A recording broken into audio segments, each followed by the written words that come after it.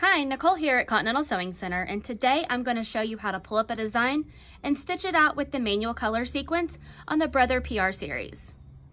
We are going to pull in our design.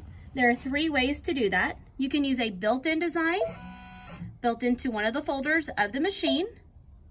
You could also bring it in with a USB flash drive, or today we're going to use a school logo from our saved on the memory of the machine. So we will select our design and we'll set it. We're not gonna edit anything on it. We're going to use our manual color sequence button and then we are going to set the needles for this particular design. Once that is done, you will push the OK button. You're ready to embroider. And we are going to lock and start stitching.